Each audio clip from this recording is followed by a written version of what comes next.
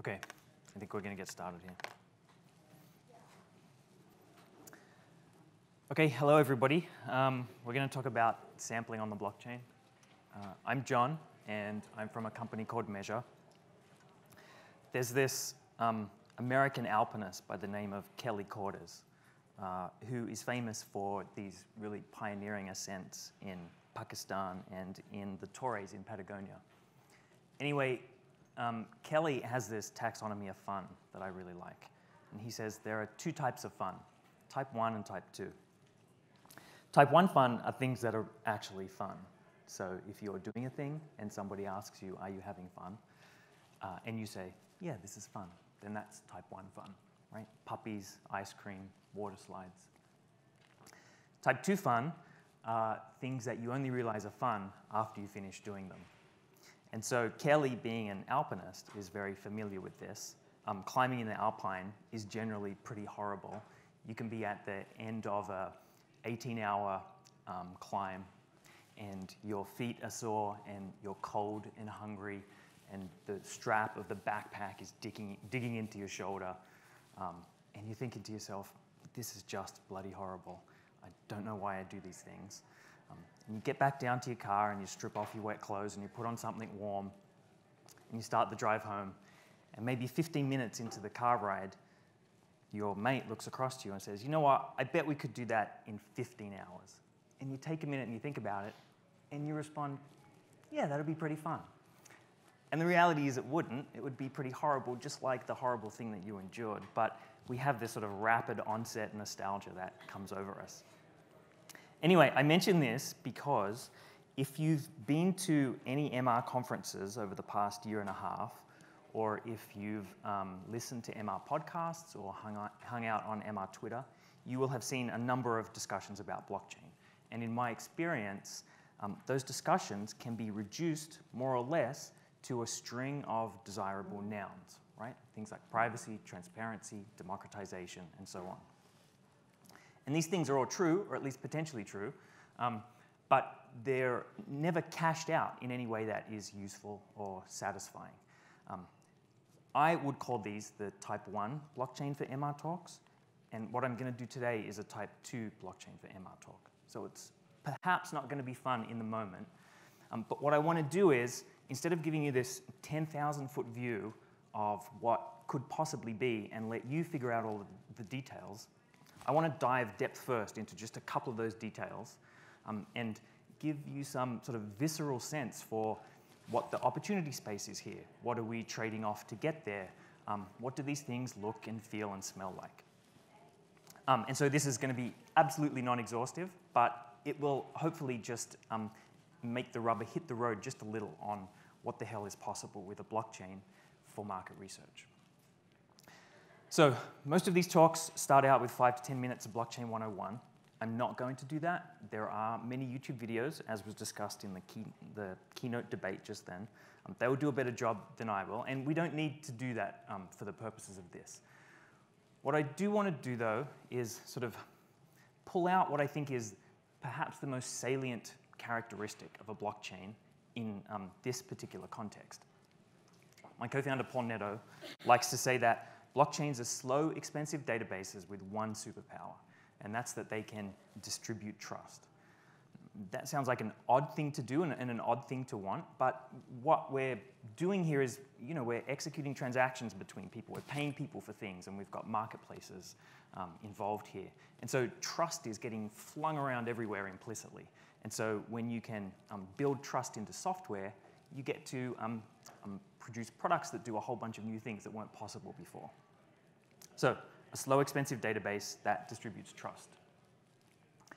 Um, I'm going to slip into this sideways via Bitcoin. So I'll assume that you all have a passing familiarity with Bitcoin. Bitcoin is sort of the canonical blockchain. It's the, the first um, cryptocurrency that was built on top of a blockchain. The interesting thing about, um, the, um, about Bitcoin uh, if you think about just the very simple use case for Bitcoin, one person wants to pay another person. Um, the clever thing about Bitcoin is that they can get that done without any intermediary involved. Um, the Bitcoin, the network, is comprised of a set of um, computers being run by essentially random people across the internet or running public domain software. Right? Nobody owns Bitcoin, nobody controls Bitcoin, and yet um, it can, through the game theory involved and the cryptography involved, it can engender enough trust in people that they can conduct financial transactions through this thing. So to me, this is most like, oh, there's some weird emoji here. To me, this is most like um, the relationship between a researcher and a respondent, um, which today gets filtered through uh, a sample provider, a panel company, a router, a combination of the two or three perhaps. Um, and so what my claim here is that uh, we're able to execute this basic data transaction. A researcher wants to buy data, um, a survey response or some passive data from a respondent, that we can execute that with the only intermediary being um, software on a blockchain. So let me say, before I go any further, that the um, point that I'm making here is, is, in some sense, a narrow technical point. I'm not um, suggesting that um, these blockchain solutions are going to disintermediate this industry. I'm not suggesting that the sample business is going away. I'm just making this sort of dispassionate um, uh, technical claim that um, these transactions that we execute millions of times every day, it's possible that they can be um, done using just software on a blockchain. Nobody in the middle. Just like with Bitcoin, we don't have banks involved or governments or, or anything like that we can do this type of, um, or this part of research without any um, uh, trusted entity involved. So I'm just going to proceed, and um, of course there are lots of big, interesting business questions to ask and answer about this, um, but today we're just going to focus on what's actually possible. So um, we've got our researcher who wants to buy something from, uh, buy some data from a respondent. So let's dig a little deeper into what that actually means. So I think that there are four jobs to be done in sampling. Recruitment, profiling, sampling, which is sort of um, running some algorithm and picking, picking a representative sample of people, and then paying those people. Um, of course, sample companies do um, a, a, superset of this, and there's a whole bunch of other stuff that's not included here. But again, we're just talking about sort of this, this um, core mechanical transaction here. My claim here specifically is that software on a blockchain can do three of those things, profiling, sampling, and payment. Um, as Seema presciently said in that, in that talk just then, um, recruitment involves sort of bringing people external to this, the system into the system. And so the software on the system can't do that. I mean, we can build a good system that will attract people, but recruitment is sort of outside of the box of this thing. We're just talking about once people are in the system, we can profile them, sample them, and pay them. So let's dig even deeper and look at what that actually means. Okay, so we have a researcher and um, she wants to run a study. So she uses a piece of software that looks just like the software that she uses today. In fact, it could be the software that she uses today.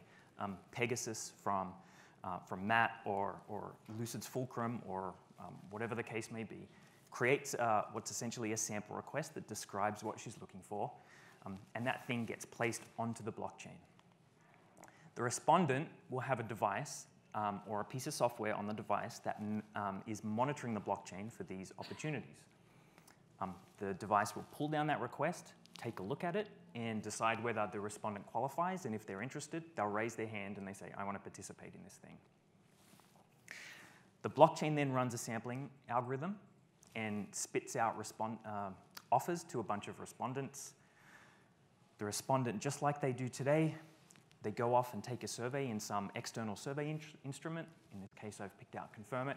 And again, just like today, um, the survey uh, engine will um, register some uh, event back to, in this case, the blockchain, right? A completion, a disqualification, um, a, a timeout, whatever the case may be.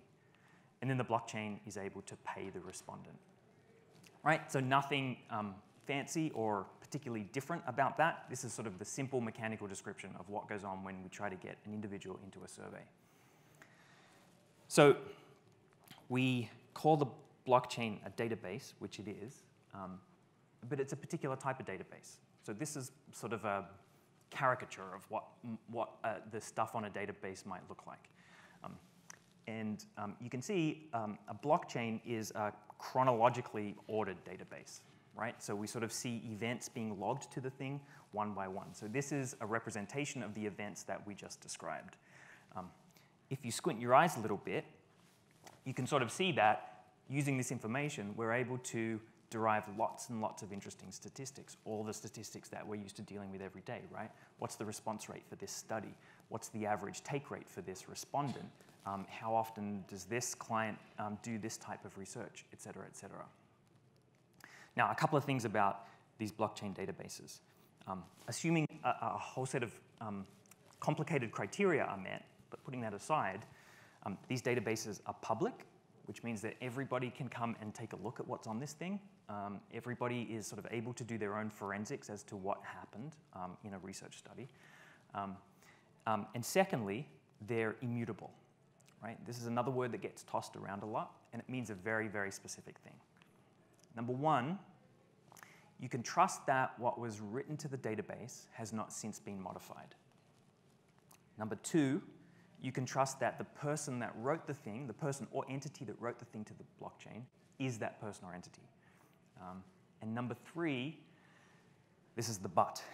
You cannot intrinsically trust the truth of claims that are sitting on the blockchain if they're not to do with things that are in the control of the blockchain itself, right?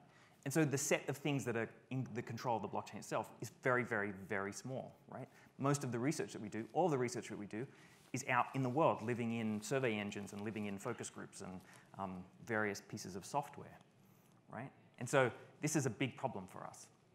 How do we trust claims about research activity that are made on the blockchain? There is nothing inherent about blockchain that makes us trust what is written there. As we said, we can trust that what was written there has not been changed. We can trust who wrote it. But as for what they wrote, well, it's, it's open season. Um, in the case of cryptocurrencies, they're this nice closed system, right? A, a, currency, if you think about it, is just a set of accounts, a set of people who can hold that currency, entities that can hold that currency, and their balance, right? And that database can live on a blockchain. And so when you're interacting with Bitcoin or some other cryptocurrency, um, the blockchain itself has um, complete knowledge of the entire universe that it's trying to manage here. Um, and so you have this greater level of trust in what's being written there. That's not the case by research. And unfortunately, there's no simple answer to this right? Every time something gets written to a blockchain, you have to sit back and think, why would we trust this or why wouldn't we trust this? And under what circumstances would we trust this? So we're going to go through just a couple of quick examples here to give you a flavor of what that looks like.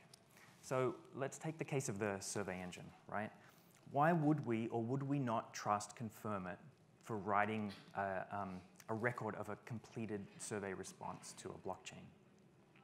In this case, it's actually pretty easy, right? The, um, the actual customer of Confirmit is the research company. And so to the extent that they want to continue um, to have the research company as a customer, they're just naturally incentivized to tell the truth about what goes on. Um, it's certainly conceivable and theoretically possible that Confirmit could go into cahoots with a couple thousand respondents and say, look, guys, here's what we're going to do. I'm going to write a bunch of completes to this blockchain you share your compensation with me. Um, now, that's going to work, but it's going to work for a very short period of time because all these researchers are going to say, this is pretty crap. Like, I'm running research through this survey engine, and uh, I have no data to show for it. So, um, survey engines, in this particular case, are naturally incentivized to do the right thing. The case of respondents, though, is a little different. Um, what we've said here is that where um, in our, the scenario that we painted, that we're um, asking respondents to essentially self-qualify into a study, right? And we know that there are just many, many reasons why a respondent would shade the truth when they're qualifying into a survey. Um, and so we have to figure a way around this. But before we do, I want to throw a couple more things into the mix. The database that we looked at has a ton of interesting information on it. It's all public and it's all immutable, which is fantastic, but there's a little bit too much information on here, right? Um, on this first line here, we can see that it's open knowledge to everybody that researcher A, and researcher A um, presumably is going to be pseudonymous, so we don't know exactly who researcher A is, but we know that there exists this researcher who is running a study with 100 respondents for men aged over 18. Now, in isolation, that's not really um, interesting information, but you can imagine that over time, if researcher A does lots and lots of studies, and they all tend to focus on particular demographic subgroups, then we might start to figure out who researcher A is, and there's this you know, opportunity for corporate espionage of a sort. We, if we know that Volvo is doing a particular type of research, we could maybe make um, educated guesses about what their product line is going to look like in the next six months. The bigger problem, though, is actually for the respondent, right? Even though we don't have any respondent data on the blockchain, um, it's pretty easy to infer that any respondent that participated in a study that was looking for men over the age of 18 is, in fact, a man over the age of 18, or at least somebody pretending to be a man over the age of 18, which is our other problem. So we have to fix these things. Problem two is how do we hide sensitive data? And problem three is how do we reliably qualify respondents um, without having access to their profile data? So in the current environment, um, this is not really a problem. We have sample provider companies who conveniently have these nice databases that keep all of the respondent data private and keep all of the requests from the researcher private. Um, but we don't get to do that here. Um, we need to find some um, um synthetic version of this. Right. So one thing that we could think about is throwing a database into the blockchain. That would solve our trust problem, right? We no longer have to trust the respondent to tell us who they are, but clearly that's going to exacerbate our um, data sensitivity problem. And so that's no good. Um, in a lot of uh, cryptographic networks, uh, you have this role called a miner. So in Bitcoin, you have Bitcoin miners, right? And Bitcoin miners are generally um, people that participate in a network and provide some resources to the network or some function to the network and get paid somehow um, for doing so. Um, in the case of Bitcoin, you're providing computation and storage, and you're getting paid in Bitcoin for doing that. So perhaps we could introduce something that we might call a profile miner, which would keep respondent profiles and researcher requests in the database sitting off the blockchain, right? Now this would theoretically work, um, but it looks a whole lot like the situation that we have today, except we've got this big, slow database sitting in the middle of it, right? And we're still, we've still got somebody that we have to trust to keep our data safe, and we have to pay them fees for doing it, um, but we have to go through this um, blockchain in order to make it work. So this is not ideal either. So what we did is went looking around for some cryptography to solve some of these things. We found these things called um, bit commitment schemes or cryptographic commitment schemes. Um, so these are schemes which allow you to um, commit to a thing publicly without, um, without revealing what that thing is. And in the literature, the canonical problem that this solves is flipping a coin over a phone call which is clearly a problem that plagues humanity. So let's have a look at how this works. So we've got researcher A who's bored and is calling up her friend researcher B, and they're going to flip a coin. Researcher A is going to be the coin flipper, and researcher B is going to be the one that calls heads or tails. So the problem in this scenario as it stands is that if researcher B calls heads or tails before researcher A flips the coin, then researcher A is likely to lie about the result. Um, similarly, if researcher A announces the result before researcher B calls the coin flip, um, then uh, researcher B is likely to lie about what she chose. Um, so, so, this is the analogy here is, is asking for asking a respondent for um, what their profile is. So what we can do here is researcher B can um, decide what she wants to call. In this case, it's tails. Tails never fails.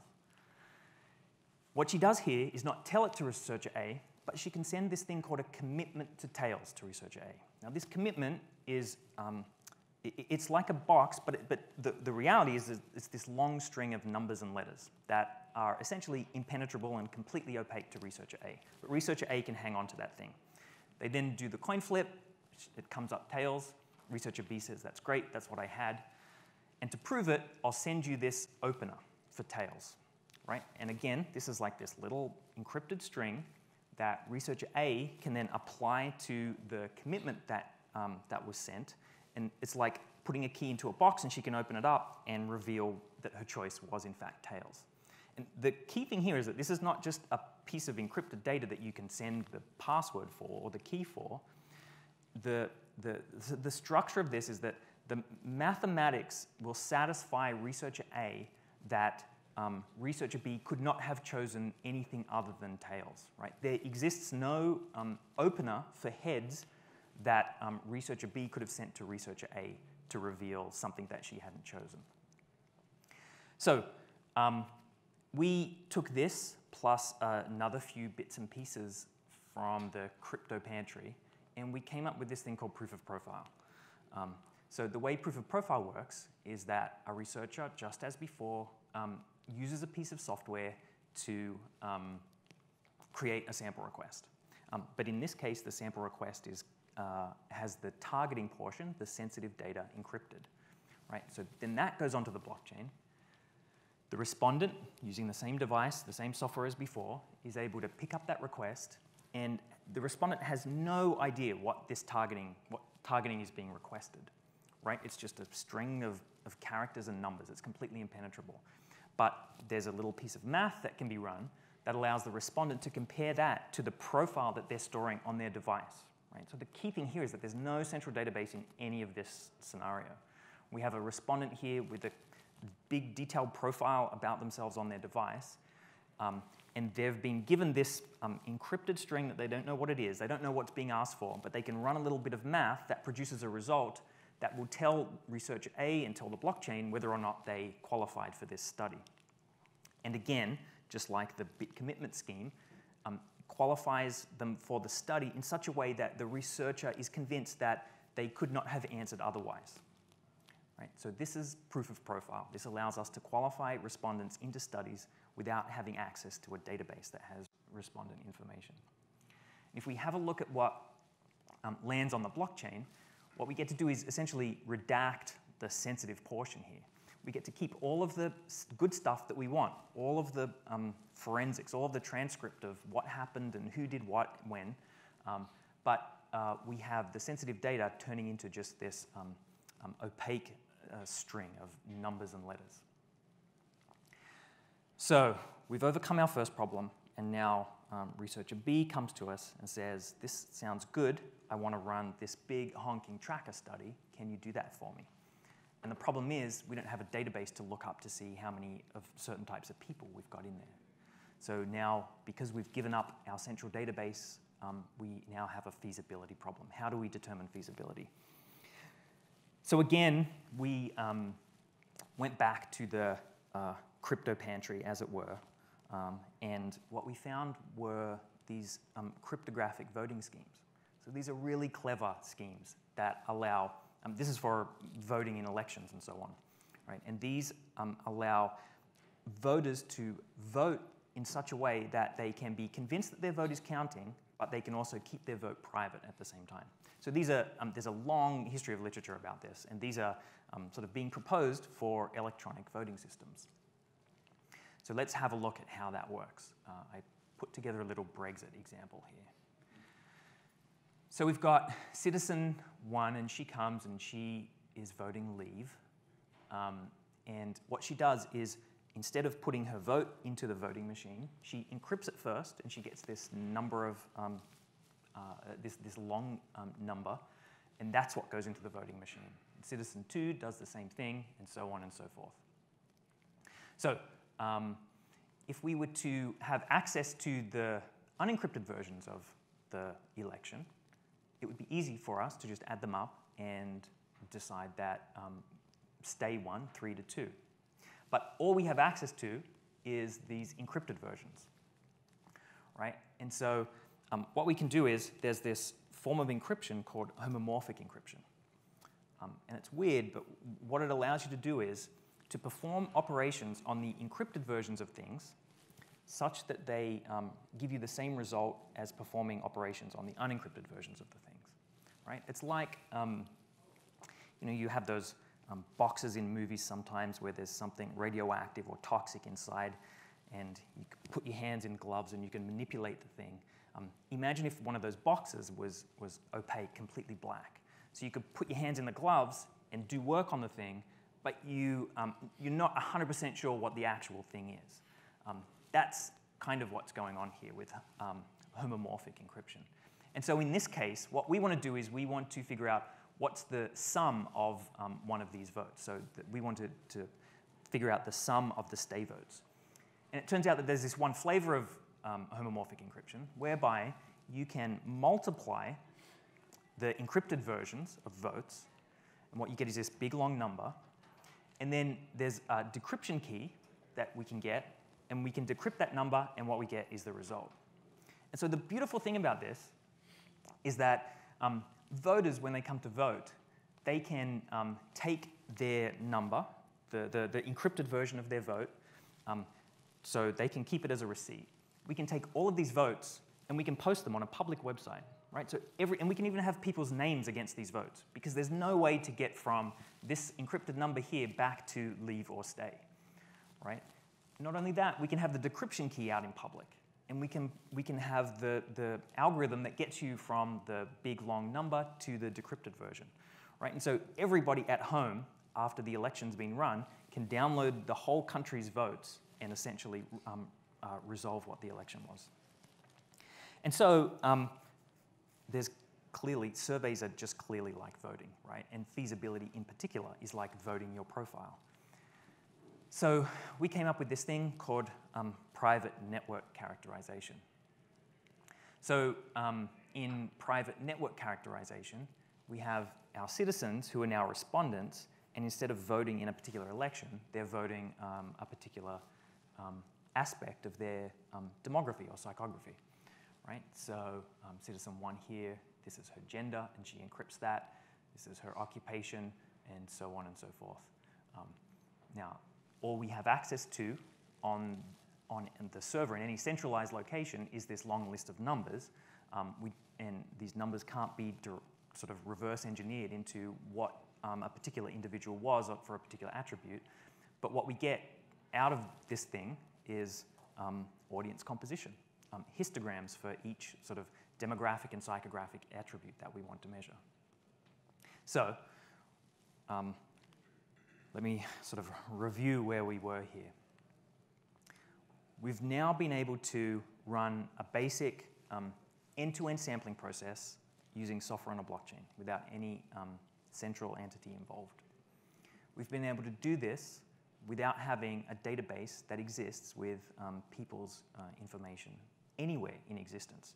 So it's not just that we've done a good job protecting people's sensitive data, it's that people's sensitive data is scattered onto their devices in a million places, right? And so there is literally nothing to protect at this point. Um, we've been able to figure out a way to do population statistics so that we can run um, feasibility studies and we can characterize the composition of the network. Um, and we've been um, able to do this with this useful side effect that everything that we've done comes with this nice um, chronological, immutable, public, strategically redacted transcript of what went on. So everybody can go in. Buyers, you know, um, buyers can come in and see what are the specifics, the specific characteristics, um, behavioral characteristics around the people that um, responded to this survey.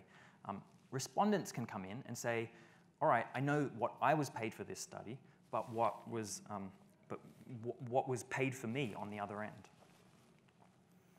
So there's, this is obviously just scratching the surface, and this um, a sample company does not make. Um, but we've been able to sort of walk through how we would solve the basic use case here, and there's a ton of other things that we could talk about, um, which we won't today, but just for the purpose of mentioning them.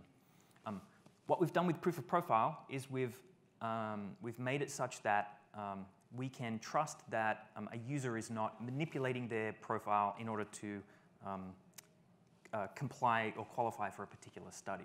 But we still have got, we're, still no more trusting that the user is who they say they are. And so there's this um, whole discussion to be had about how do we validate the truth value of those claims.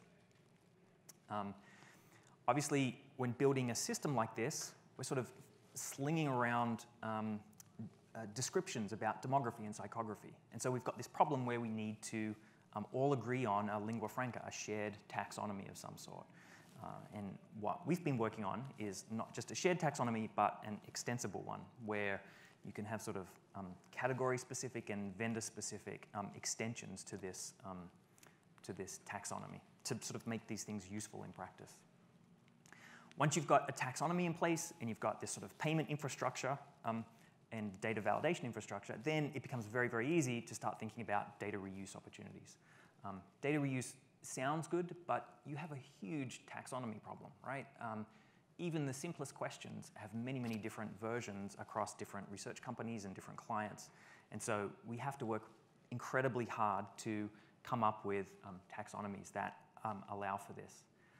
Um, blockchains are particularly good for reputation systems, right? So now that we've got all of this in place, um, we're able to um, very um, easily allow for feedback mechanisms in both directions, right? We can allow researchers to mark um, badly behaving respondents, but we're also able to allow respondents to mark badly behaving researchers. so if a study was claimed to be 15 minutes long and it was actually 25, um, or if it was claimed to be mobile friendly and it was not. Uh, these things can be, can be tracked and we can sort of build algorithms to, um, to, to, manage these um, reputation scores. And we can um, create um, incentive systems in order to incentivize people to optimize their reputation scores.